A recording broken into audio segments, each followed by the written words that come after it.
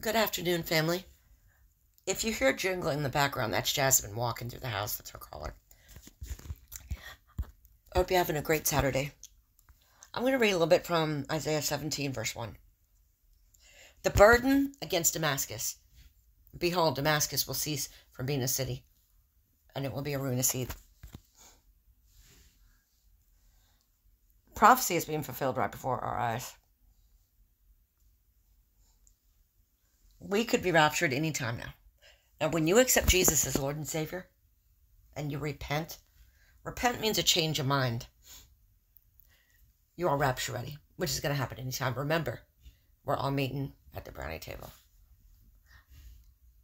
A sister in Christ said uh, the other day, said, Sister, did you say brownie table? I said, I sure did. I said, I said brownie table. That's my noisy bed, I'm sorry. Not the seafood table. No, I'm just kidding. I'll probably like it in heaven. I don't like it down here. If I have to pick it up, I gotta roll down the car windows. I'm like, I hate that stuff so much. But um, accept Jesus as Lord and Savior. If you haven't accepted Jesus as Lord and Savior and you want to right here, right now, believe, repent. Repent means to change your mind. I live for Christ. Jesus, I am a sinner in need of a Savior. I believe you are the Son of God who came down from heaven born of a virgin, you lived a sin free life. You took on my sin in the cross, suffered, died, and was buried, and on the third on the third day, you're alive. You're seated at the right hand of the Father. Come into my heart. I make you my Lord and Savior. Wash me clean with your precious blood. Your rapture ready. Which is gonna happen anytime. We're just I'm looking at the sky. Every day I look at the sky. It's going to be soon. I know we're all exhausted. God's timing is perfect. Remember, the Holy Spirit, when you accept Jesus as Lord and Savior, the Holy Spirit dwells in you. We are new in Christ. And He will get us through these dark days. You know, I just uh, went with my mother to see that movie Civil War. It's sad. It is. But before I jump into that, um, I just want to say please pray for Israel. Um, you know, if they just leave Israel alone, there'd be peace out there. But the Bible's clear; there will never be peace until Jesus is until Jesus establishes His kingdom on earth. I mean, the Antichrist will make peace. the Antichrist will make peace temporarily. It will be a false peace, and everybody will marvel over him. Oh, uh, please, can please continue to keep Israel in your prayers, and you know all all the innocent people out there that just want to live in peace. You know, wars war is horrible, you know, on both sides. But each day we're here, family, plant those seeds, get your left behind letters together. My mother has her left behind letter, I have mine. We have the Bible by it. You know, it's like in the days of Noah. Well, like in the days of Noah, Noah and his family were deemed worthy and escaped God's wrath. Did God have them go through the flood, but, they kept, but he kept them safe? No. They escaped God's wrath. We will too. Revelation 3, verse 10, clearest indicator of that. But wherever you stand on the rapture, stay close to the Lord. Put on the full armor of God. Because remember, Satan isn't going to focus too much on the ones he already has. He's going after the ones God has big plans for and the ones that are deemed a threat, and that's us. But you know what? Satan was defeated at the cross. He has no power, no authority over you. And I promise, whatever you're going through, you're not going to be going through it much longer. I know what it's like to struggle now, I'm tr- not trying to get sympathy on that. Some people say, oh, you're trying to get sympathy. No, I'm not. Just, I understand. I may not understand, you know, completely what you're going through, but I understand. I, I woke up one morning and lost everything, but I gained so much. I have this this channel. I have my brothers and sisters who I love so much. I love you guys so much. You guys mean so much to me. And I had a lot of anger in me for a long time. I couldn't understand. I was trying to make it on my own as a single mother. I couldn't understand why God allowed those things to happen. Sometimes we don't completely understand. But it doesn't mean we're not going to have moments of struggle, but it's how we handle it. I have an internal peace. I used to snap at everybody around me, but I have an internal peace now that I never used to have before. That's what the Holy Spirit does. He gives you that internal peace. And I know life's tough. Maybe you can't afford to buy food, Maybe you can't afford to buy gas. Maybe you're having trouble paying the bills.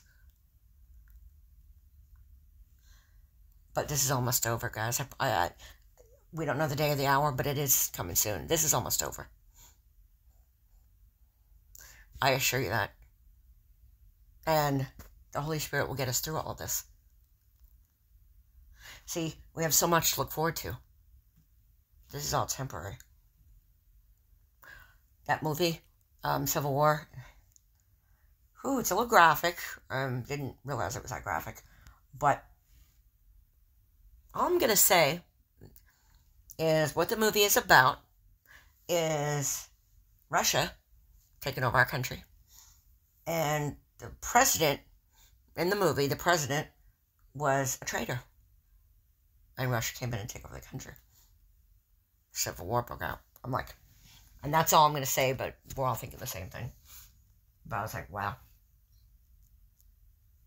Uh, me and my mother went to see it, and she's she's uh she's going. You know, I never thought I'd live to see the day while this was happening. You know, I heard Obama made this movie. I know he made the other one, Leave the World Behind. I'm pretty sure he had something to do with this one too. Don't quote me on that. I have to double check. But if he did, I'm like thinking, out of all the ideas of movies he could make, why would he make this? Now, my opinion, and this is just my opinion, not saying this is how it's going to happen, my opinion, is the reason why they're opening the borders. There was somebody, and you can look up his story online, I'm sure, that said that they caught at the border, and he said, You don't know my name, but you will soon.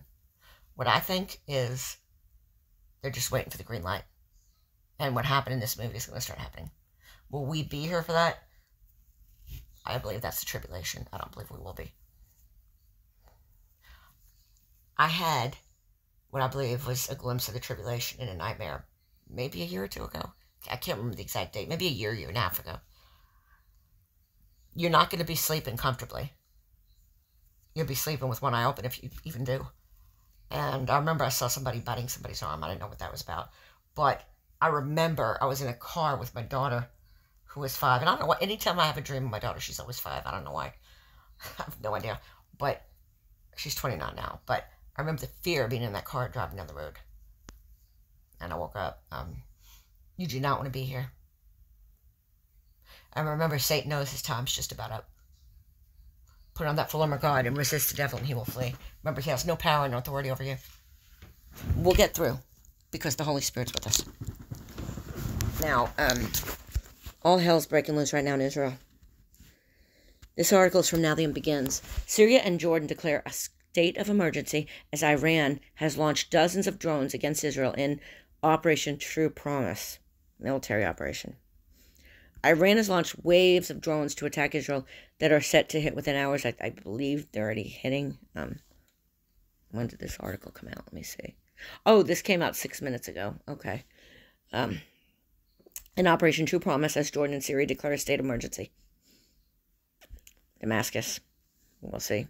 Guys, again, prayers for um, everybody in that part of the world, Israel, especially Israel, and you know all the innocent families, women and children that just want to live in peace. You know, give your life to Jesus if you haven't done that yet, because guys, we're going home. We're about to go home. As we've been. As we have been telling you for weeks now, Israel was on the verge of waging war on three fronts after already knee deep in fighting with Hamas in Gaza and Hezbollah in Lebanon. Tonight, front number three officially opened as Iran launches dozens of drones that are on their way to Israel as we speak. All Israel is on lockdown right now, with residents listening to the sound of oh, that's poor Israel, listening to the sound of air raid sirens that will signal their rush to the safety of bomb shelters. I just got very emotional right now. Just those poor people. You know, there's a lot of young kids in this country that are pro-Palestine that are becoming poor. There's there's a lot of pro-Israel too, but there's a lot of college kids that are pro-Palestine, and it's like if they would stop attacking them, everything would be combat there. Israel has the right to defend themselves, and Israel is the apple of God's eye. I got news for them. God's in control. You don't mess with Israel.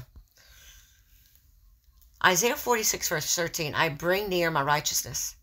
It shall not be far off, and my salvation shall not tarry. And I will place salvation in Zion for Israel, my glory. Iran is calling it Operation True Promise, and their Revolutionary Guard Corps have stated that Operation True Promise is a response to Israel's actions and is part of their strategy to punish Israel for its perceived crimes. According to two regional security sources, Jordan has positioned its air defenses to intercept and destroy any Iranian drones on aircraft that breach its airspace. These sources further indicate that the army is on high alert, with radar systems actively monitor, monitoring drone movements. Jordan has also declared a state of emergency in the country. Syria is also on issued has issued also an alert. And it has placed its Russian-made Pantsir ground-to-air defense systems on high alert around the capital and major bases, according to Army sources.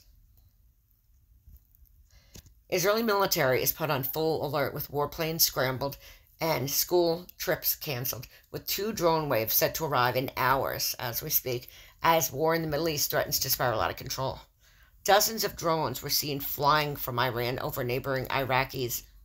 Oh, I'm spelling this one out, y'all. I'm not even trying. Um, S U L A Y M A N I Y A. Oh, yeah. Province, according to three security sources. Iran's Islamic Revolutionary Guard Corps said via state media that it had launched ex- extensive drone strikes against targets in occupied territories. Israel has said tonight that its airspace was shutting down at 12:30 a.m. local time. Iraq also announced it was shutting down its airspace and suspending all air traffic on Saturday. This is bad. This is bad.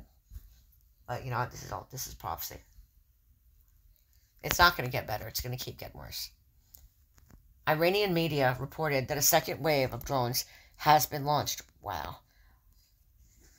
Though details of where they currently are aren't yet known, the IDF spokesperson, um, Admiral Dan- Daniel Hagari, said it would take several hours for the drones to arrive in Israel, adding that sirens would be sounded in threatened areas. The IDF said that the air defense array is on high alert at the same time as the Air Force planes and Navy ships that are on a mission to protect the country's skies. The IDF is monitoring all the targets. Quote, we asked the public to adhere to and follow the instructions of the Home Front Command and the official IDF announcements. And they got videos here. Regarding the matter, it was reported today that Iran has more than 100 cruise missiles ready to be launched as part of an imminent strike against Israel in retaliation for an airstrike against Iran's embassy in Damascus, Syria.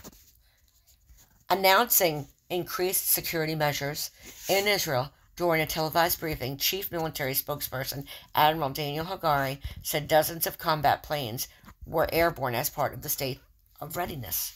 Starting at 11 p.m. tonight, the strict measures, which I believe is probably that right now over there, which include the ban of all educational activities across the country, the restriction of working in offices without standard protective spaces, and limits on the number of people at gatherings will be implemented. I, I would just be staying home. I'd, I'd just be staying home.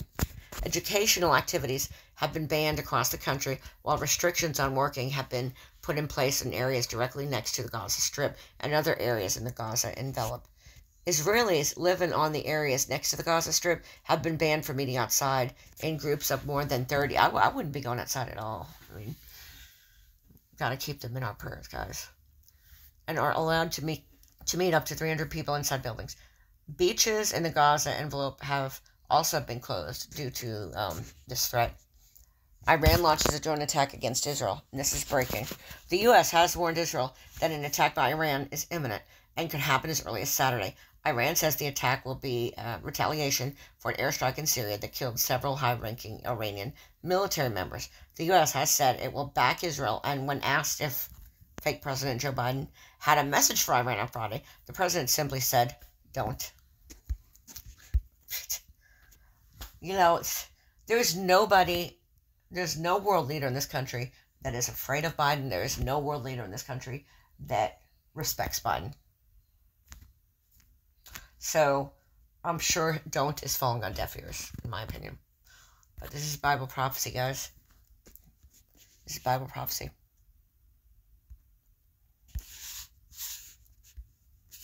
Keep looking up. Go home anytime. Remember Isaiah 17, verse 1? The burden of Damascus, behold, Damascus is taken away from being a city, it shall be a ruinous heap. I know there's been more out there before, but one of these times, maybe even this one. We're basically we're going home very soon, and we gotta keep Israel in our prayers, and all the innocent families and women and children that just want to live in peace. But, you know, poor Israel, they just they just want to be left alone. If there's any more news about this, I will be back on. Um, I may go out and do Uber tonight. It depends on how tired I am. Um, I'm so tired, y'all, that when we went to get our popcorn, I handed him uh, my movie ticket to pay for it. My mother's like, you can't drive tonight. Like, yeah. Um, keep looking up, keep listening. If there's any more breaking news, I promise you guys I'll be back on. And um, I will see you at the marriage supper. God bless you. And I will talk to you soon.